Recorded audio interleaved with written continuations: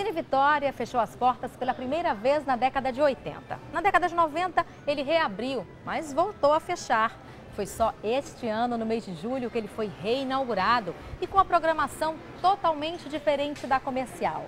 Ele funciona aqui, na Rua do Turista, que é a antiga Rua 24 Horas.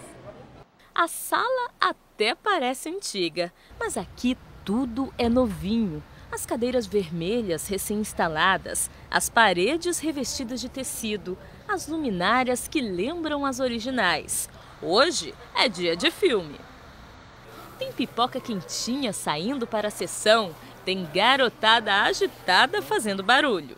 11 anos após fechar as portas pela última vez, o Cinema Vitória voltou a funcionar. Hoje ele está instalado neste espaço que foi restaurado aqui na Rua do Turista, bem no centro de Aracaju. São 130 lugares. Este é o único cinema de rua de todo o estado de Sergipe. O cinema divide espaço com bares, restaurantes, as lojinhas de artesanato instaladas no centro histórico. Na porta da entrada, o letreiro luminoso chama a atenção. É a reinvenção do passado. A ideia da sala, de uma sala de projeção, ela é mantida, só que o equipamento é diferenciado porque hoje, com a digitalização do processo de, de exibição de audiovisual, a gente precisou se adequar a isso. Então, nós temos aí um equipamento de som, um, um sistema de projeção completamente modernizado. As poltronas elas foram reinstaladas. Nós estamos trabalhando agora com a questão do isolamento acústico e é, um convênio que busca ter na programação um espaço que dialoga com cinemas que não com filmes que não fazem parte da produção normal comercial. É, e que dialogam, na verdade, com a, o cinema de arte, com a produção brasileira e com a produção sergipana. Nas telas do Cine Vitória, filmes que falam da história do Brasil, produções que estão fora do circuito comercial e trabalhos sergipanos. Everlane foi uma das primeiras cineastas do estado a ter um filme exibido aqui. A gente que é realizador, a gente sabe que tão difícil quanto, quanto fazer um filme, né, produzir um filme, é exibi-lo. Né? Temos poucas salas é, é, livres e, e, populares em Sergipe e no Brasil, inclusive. Essa surge como mais uma, uma significativa é, é, é momento, ou sala, ou, ou ambiente para justamente estar tá ajudando a divulgar um pouco mais esse cinema sergipano né, no âmbito é, mais popular, inclusive. Desta vez, os estudantes vão conhecer pelo cinema a história de um importante prédio de Aracaju, o Hotel Palace.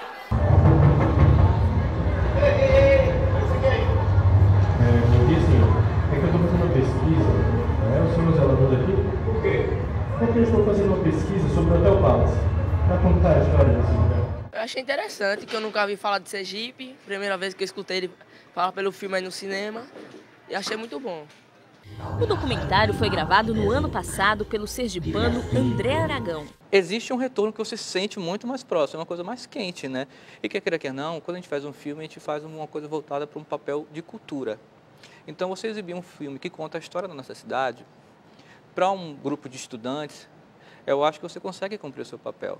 Né? Que o papel de quem faz filme não é apenas trabalhar com entretenimento.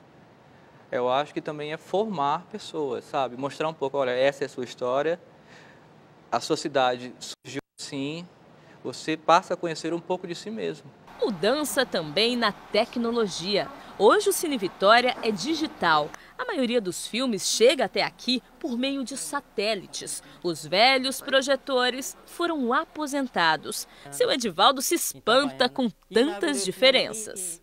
É diferente e só muito estudado para trabalhar com isso aí tecnologia e tradição, passado e presente.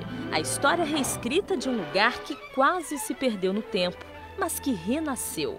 Com outra cara, é verdade, mas com a mesma vocação para fazer sonhar de olhos abertos. E olha só que boa notícia, hein? Agora você tem mais uma opção de programação cultural aqui em Aracaju para não perder nada das emoções e das aventuras da telona. Se quiser saber a programação completa do Cine Vitória, é só acessar essa página aqui, www.cultura.se.gov.br barra cinema. E se você quiser ajudar a nossa produção a fazer o próximo programa, é só entrar em contato com a gente, viu? O nosso telefone é o 3045 44 44 ou então pode acessar a nossa página na internet tvsergipe.com.br. E o Terra Serigi de hoje termina aqui. A seguir você acompanha as notícias do SETV primeira edição. Mas no próximo sábado a gente tem um novo encontro marcado e ao meio-dia eu espero você. Até lá!